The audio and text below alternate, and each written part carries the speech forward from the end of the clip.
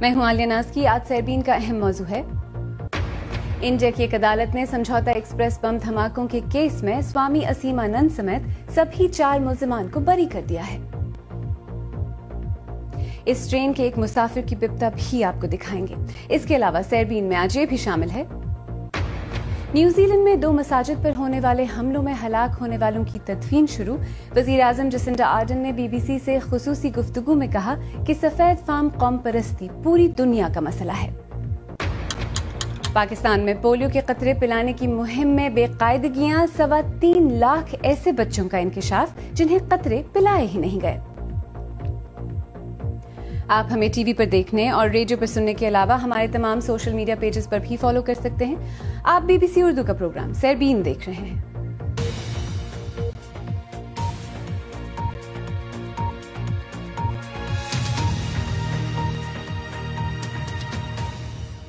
بارہ برس قبل سمجھوتا ایکسپریس کے بم دھماکے کے تمام ملزمان کو آج بری کر دیا گیا ہے۔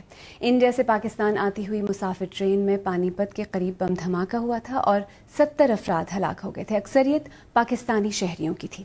عدالتی فیصلے کی مزید تفصیل سے پہلے روداد سنتے ہیں حملے کا شکار ہونے والی اس ٹرین کے ایک مسافر کی۔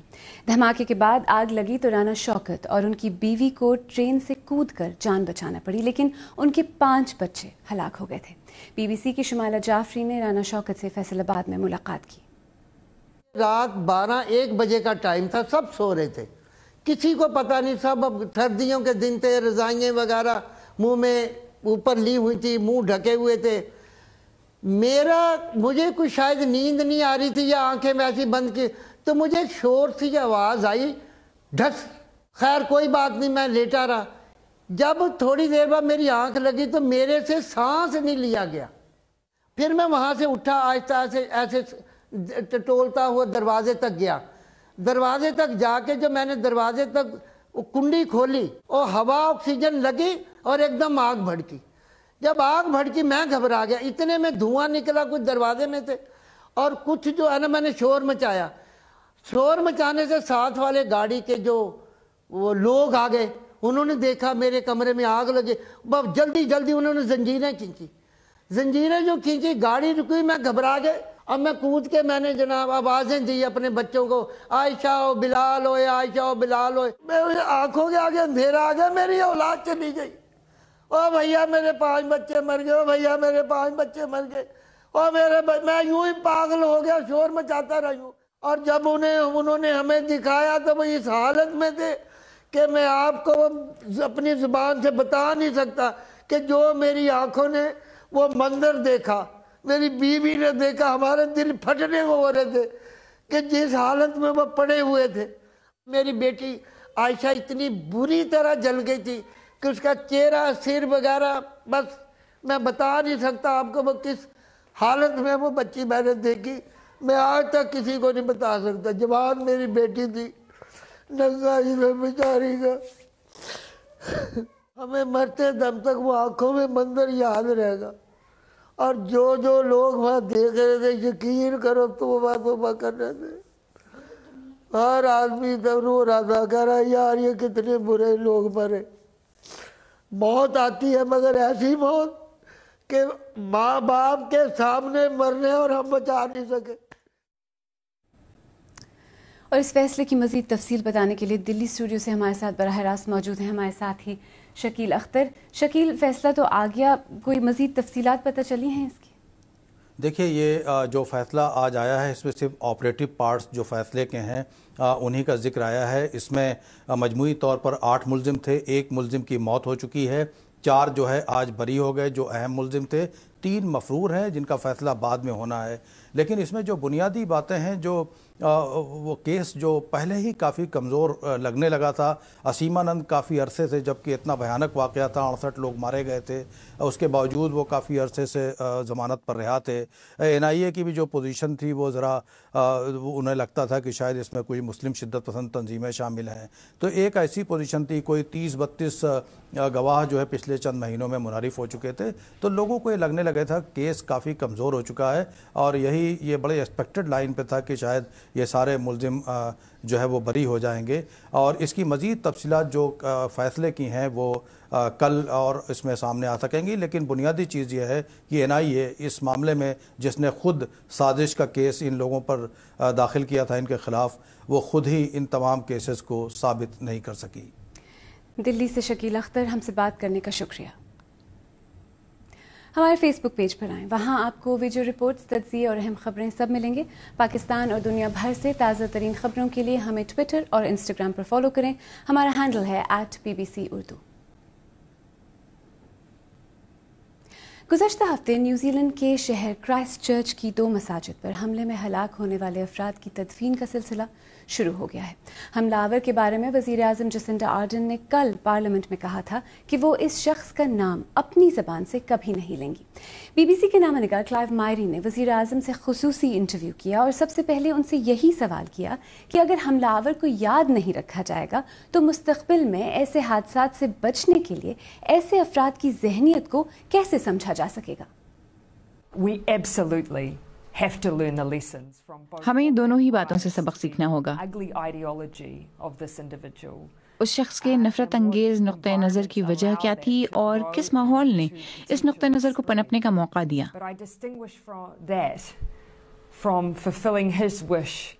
لیکن نفرت انگیز اقدام کے ذریعے شہرت حاصل کرنے کی اس کی کوشش کو میں ان باتوں سے الگ رکھ کر دیکھتی ہوں۔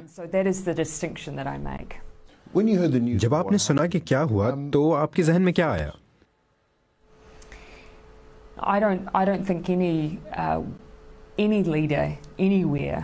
میں مجھے نہیں لگتا کہ کوئی بھی رہنما خود کو ایسی صورتحال کے لیے پہلے سے تیار رکھ سکتا ہے اور یہ کہنا درست ہوگا کہ میں خصوصی طور پر ایک امن پسند اور شمولیت میں یقین رکھنے والے ملک کی وزیر اعظم ہوں۔ ایک ایسا ملک جہاں دو سو سے زائد نسلوں کے لوگ ہیں اور ایک سو ساٹھ زبانیں بولی جاتی ہیں۔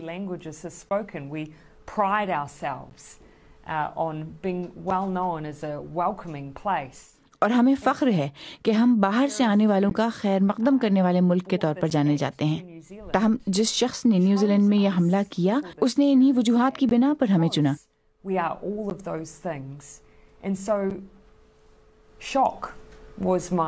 اس لیے سب سے پہلے تو مجھے اس بات سے صدمہ پہنچا کہ ایسا کچھ ہمارے ہاں کیسے ہو سکتا ہے؟ جب آپ گن کنٹرول قوانین میں سختی کی کوششیں کر رہی ہیں اور آپ اسے جلد از جلد کرنا چاہتی ہیں تو اس طرح کے واقعات کی روک تھام کے لیے کن تبدیلیوں کی ضرورت ہے؟ پہلی بات تو بہت واضح ہے۔ وہ ہے ملٹری سٹائل سیمی آٹومیٹک ہتھیاروں کا نیوزی لینڈ میں دستیاب ہونا۔ ہاں ہمارے یہاں دیہی علاقوں میں ہتھیاروں کی جائز ضرورت ہے۔ لیکن میرا خیال ہے ایسے ہتھیار جو تکنیکی طور پر زندگیوں کو نقصان پہنچانے کے مقصد سے ہی ڈیزائن کیے گئے ہیں ان کی روک تھام کے لیے وہ لوگ بھی ہمارا ساتھ دیں گے۔ نیوزی لینڈ میں سفید فام بالادستی کی لہر کے بارے میں آپ کتنی فکر مند ہیں؟ صورتحال کو آپ کیسے دیکھتی ہیں؟ میرا پیغام عالمی سطح پر ہے۔ میں ان باتوں کو الگ الگ رکھ کر دیکھتی ہوں کہ ہاں حملہ آسٹریلیائی شہری تھا۔ لیکن اس کا یہ مطلب نہیں ہے کہ نیوزی لینڈ میں ایسے نقطۂ نظر کے لوگ نہیں ہیں جو اقلیتوں کے خلاف ہوں گے لیکن انہیں نیوزی لینڈ کی اکثریت مکمل طور پر مسترد کر دے گی۔ باوجود اس کے یہ ہماری ذمہ داری ہے کہ ہم ایسے ماحول کو فروغ دیں جہاں اس نقطۂ نظر کی جگہ نہ ہو اور ہر ایک کی شمولیت کو پنپنے کا موقع ملے۔ میں یہی اپیل عالمی سطح پر کروں گی۔ نیوزی لینڈ میں جو ہوا، وہ ایک ایسے شخص کے ذریعے ہونے والا تشدد تھا جو کہیں اور بڑا ہوا اور وہاں اس نقطۂ نظر کا حامی بنا۔ تو اگر ہم عالمی سطح پر یقینی بنانا چاہتے ہیں کہ ہم ایک محفوظ، روادار اور شمولیت میں یقین رکھنے والی دنیا میں جی رہے ہیں، تو ہم اس بارے میں سرحدوں کے دائرے میں نہیں سوچ سکتے ہیں۔ اور اس مسئلے پر ہمیں ایسی ہی رہنمائی کی ضرورت ہے۔ تو اب آپ لوگوں کو دوبارہ ایک دوسرے کے نزدیک کیسے لائیں گی؟ میں تو یہ تسلیم کرتی ہوں کہ زیادہ تر لوگ تو پہلے ہی ایک دوسرے کے ساتھ کھڑے تھے۔ میری ذمہ داری یہ یقینی بنانا ہے کہ کوئی انہیں جدا نہ کر سکے۔ آپ کو یقین ہے کہ آپ ایسا کر سکیں گی؟ بے شک یہی نیوزی لینڈ کی پہچان ہے۔ سربین میں آگے چل کر دیکھیے گا۔ کہ شام میں دولت اسلامیہ سے لڑنے والے یہ جنگجو کیوں رقص کر رہے ہیں؟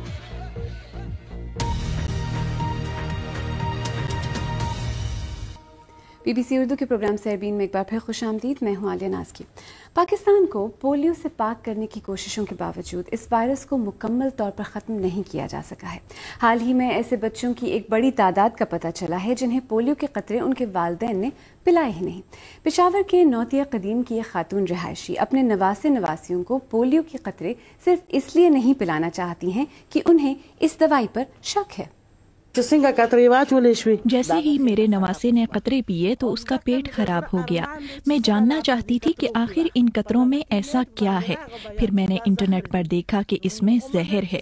اس کے بعد سے میں نے پولیو کے قطرے دینے سے انکار کر دیا۔ پولیو کی ویکسین کے بارے میں شکوک و شبہات کا مقابلہ ویکسینیشن کرنے والی ٹیمیں کیسے کرتی ہیں؟ پشاور میں یونیسیف کے کمیونیکیشنز آفیسر نے کہا کہ جب ہمیں معلوم ہوتا ہے کہ لوگ پولیو کے قطرے پلانے سے انکار کر رہے ہیں، تو ہم علاقے کے رہنماؤں کو ساتھ ملا کر جرگے کر کے لوگوں کے خدشات دور کرتے ہیں۔ لیکن شکوک و شبہات ایسے تعلیم یافتہ لوگ بھی ظاہر کر رہے ہیں جنہیں اچھی طرح معلوم ہے کہ پولیو کے قطرے پلانے سے انکار کرنا قانونی جرم ہے۔ ایسی سننے میں آئے گا، سننے میں بھی آیا اور دیکھنے میں بھی آیا کہ یہ جو چیز ہے، اکثر مطلب یہ بچوں کی مطلب وہ گروتھ جو ہے، اس میں افیکٹ کرتی ہے۔ بچے جو ہیں، وہ ٹائم سے پہلے ہی جوان ہو جاتے ہیں۔ ان کی مطلب وہ جو فزیکل جو ان کے اسٹرکچر ہوتا ہے، وہ کمزور پڑ جاتے ہیں۔ تو اس طرح کی مطلب ویڈیو ہم نے دیکھی ہیں۔ تو کون چاہے گا کہ اس کے بچے، اس کی اولاد طرح ہو جائے؟ پانچ برس پہلے پولیو سے متاثرہ بچوں کی تعداد تین سو سے زیادہ تھی۔ لیکن پولیو کے خطرے سے نمٹنے کے لیے حکومتی کوششوں کے بعد گزشتہ برس تک کی تعداد بارہ رہ گئی تھی۔ اس برس کے پہلے تین ماہ میں اب تک پولیو کے چار کیسز کا اندراج ہو چکا ہے۔ لیکن اس بات کی تشویش زیادہ ہے کہ اب تک ویکسینیشن مہم میں سوا تین لاکھ ایسے بچے ہیں جن کو قطرے پلائے ہی نہیں جا سکے ہیں۔ ہمارے ساتھ ہی سہر بلوچ پولیو کے خلاف مہم میں پولیو ورکرز کے ساتھ کچھ علاقوں میں گئیں اور اس وقت اسلام آباد سے ہمارے ساتھ براہ راست موجود ہیں۔ سہر جب آپ اسٹوری کے سلسلے میں پولیو ٹیمز کے ساتھ ان علاقوں میں گئیں، آپ کا تاثر کیا ہے؟ کتنا بڑا مسئلہ ہے؟ یہ کافی بڑا مسئلہ ہے عالیہ، کیونکہ جب ہم لوگ پولیو ٹیم کے ساتھ وہاں پر جا رہے تھے تو تقریباً زیادہ تر لوگوں نے ہی منع کر دیا تھا وہاں پر پولیو کے قطرے پلانے سے۔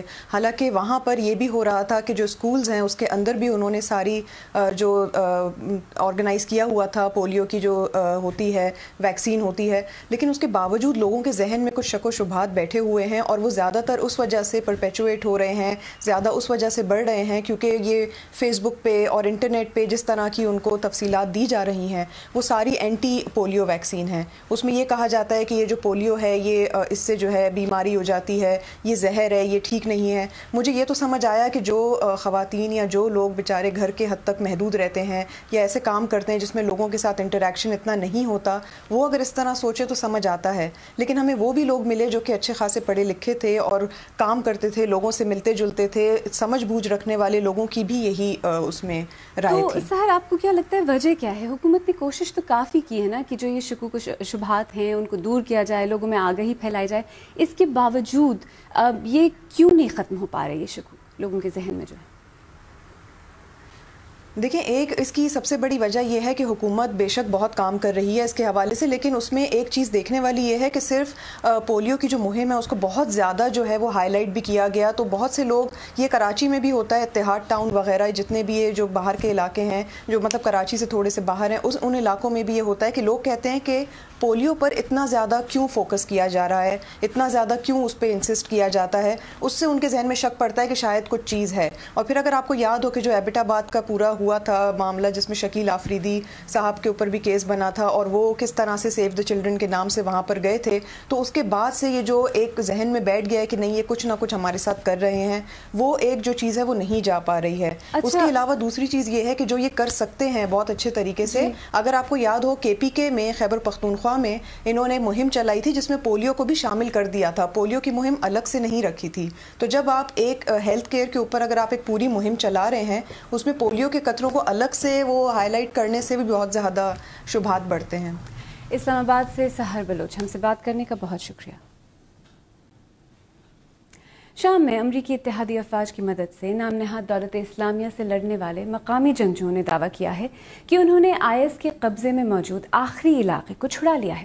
لیکن کچھ جنگجوؤں کی سرپرستی میں لڑنے والی ان فورسز نے ساتھ ہی یہ بھی کہا ہے کہ وہ ابھی پوری طرح سے فاتح ہونے کا دعویٰ نہیں کر رہے۔ شام کے جنگ زدہ علاقے باغوز سے نامہ نگار علیم مقبول کی رپورٹ پیش کر رہے ہیں سقلین امام۔ اس رپورٹ میں کچھ مناظر ایسے ہیں جن میں فلاش فوٹوگرافی کا استعمال کیا گیا ہے۔ یہ لوگ شمالی شام میں خوشی سے رقص کر رہے ہیں۔ یہاں مقامی فورسز کا دعویٰ ہے کہ انہوں نے دولت اسلامیہ کے قبضے سے اس علاقے کو پوری طرح آزاد کرا لیا ہے۔ بی بی سی کی ٹیم اس علاقے تک ایک بہت بڑے زمینی حملے کے بعد پہنچی۔ ہم وہاں پر حملے کا آغاز دیکھنے کے لیے موجود تھے۔ ارد گرد کے پہاڑوں میں دولت اسلامیہ کے بچے کھچے جنگجوؤں نے بھاری گولہ باری شروع کر دی۔ عسکریت پسندوں کو ہتھیار ڈالنے کے کئی مواقع ملے، لیکن انہوں نے اس کا فائدہ نہیں اٹھایا۔ دن کے وقت ہمیں ایک مقامی جنگجو اس جگہ لے گیا جہاں سے ہم دولت اسلامیہ کے کیمپ کی تباہی دیکھ سکتے تھے۔ دولت اسلامیہ کے کیمپ کے بڑے حصے کو پہلے ہی ان کے قبضے سے چھڑوا لیا گیا تھا۔ لیکن لڑائی پھر بھی جاری رہی۔ ایک وقت ایسا آیا کہ جب ہم دولت اسلامیہ کے جنگجوؤں کو میدان جنگ میں بھاگتے ہوئے دیکھ سکتے تھے، وہ جوابی کارروائی کی تیاری کر رہے تھے۔ دولت اسلامیہ نے خود کیمپ کے اندر سے ایک ویڈیو جاری کی جس میں ایک عورت جنگجو کو لڑتے دیکھا جا سکتا ہے۔ پورا علاقہ ہماری فورسز کے کنٹرول میں ہے۔ ہم آپ کو یہ بتا سکتے ہیں کہ اس علاقے سے دولت اسلامیہ کا مکمل خاتمہ کر دیا گیا ہے۔ کچھ عسکریت پسند چھپے ہوئے ہیں جن کے ساتھ ہماری جھڑپیں ہو سکتی ہیں۔ اگر دولت اسلامیہ کے چنگل سے تمام علاقے بھی چھڑوا لیے جائیں تب بھی اس شدت پسند گروہ سے لاحق خطرہ پوری طرح ختم نہیں ہوگا۔ لیکن یہ سپاہی فی الحال اپنی جیت پر خوش ہے ان کے لیے آج کا دن ان کا دن ہے۔ آخر میں آپ کو یاد دلاتے چلیں کہ آج کے سیبین کا بڑا موضوع بارہ برس قبل سمجھوتا ایکسپریس کے بم دھماکے کے تمام ملزمان کی بریت تھی۔ اس دھماکے کے بڑے ملزم سوامی اسیما نند سمیت سبھی چار ملزمان کو عدالت نے یہ کہہ کر بری کر دیا ہے کہ اس استغاثہ دھماکے میں ان کا ملوث ہونا ثابت نہیں کر سکا۔ آپ اگر چاہیں تو مجھ سے اور ہمارے دیگر ساتھیوں سے ٹویٹر پر بھی رابطہ کر سکتے ہیں۔ میرا ٹویٹر ہینڈل ہے ایٹ عالیہ ناز کی۔ آج سیربین میں اتنا ہی۔ آپ چاہیں تو ہم سے ہمارے فیس بک اور ٹویٹر پیجز پر بھی رابطہ کر سکتے ہیں۔ عالیہ ناز کی کو اب اجازت دیجیے۔